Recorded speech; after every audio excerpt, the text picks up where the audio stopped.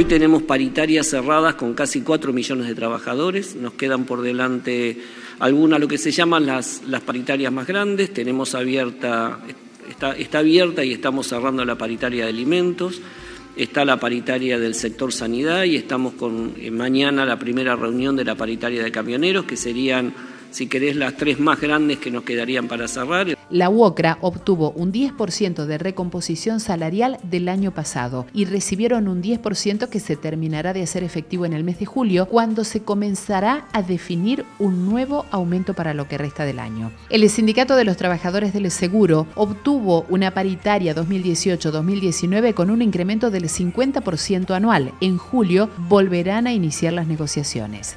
Los trabajadores de farmacias acordaron una recomposición del 11,8% a partir del mes de mayo con revisiones trimestrales. Los estatales de UPCN recibirán un 28% de incremento en cinco cuotas a lo largo del año, con una revisión de paritarias en noviembre próximo.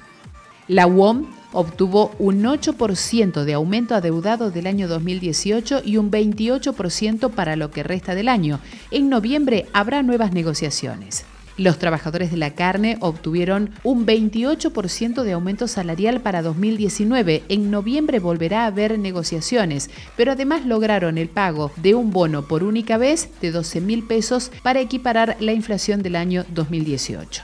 El incremento de los gastronómicos es de un 15% adeudado del año 2018 y un 28%. Además, comenzarán las negociaciones en el mes de noviembre para una nueva recomposición salarial. Los petroleros obtuvieron un 14,7% adeudado del año anterior y un 19% hasta la actualidad, con dos cláusulas de revisión, una en septiembre y la otra en marzo del año que viene.